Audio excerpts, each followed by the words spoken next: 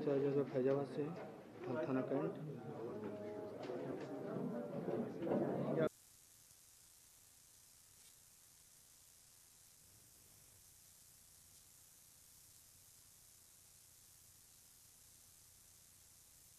ये लखनऊ में अब तक की सबसे बड़ी गिरफ्तारियों में से एक, डेढ़ लाख का इनामिया बदमाशी, दुर्दांत अपराधी है समीर खान उर्फ़ राका, जिसको कई जिलों की पुलिस इसको ढूंढ भी रही थी और कई जिलों से इसके ऊपर इनाम था। इसको लखनऊ पुलिस द्वारा आज गिरफ़्तार किया गया है। इसके, जो हमारी मेन टीम थी, जिसमें हमारे सर्वेलेंस प्रभारी धर्मेश शाही और स्वाट प्रभारी विमलेश कुमार और इंस्पेक्टर सरोजनी नगर रामसूरत सोनकर।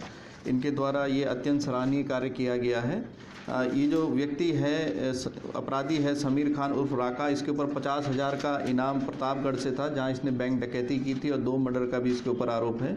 फैजाबाद में भी इसने इसी तरह 307 में वांछित था, वहाँ से ही पचास हज़ार का इनाम इसके ऊपर है, कैंट थाने। और सुल्तानपुर में बैंक डकैती इसने की थी, जिसमें पच्चीस हज़ार का इनाम इसके ऊपर है।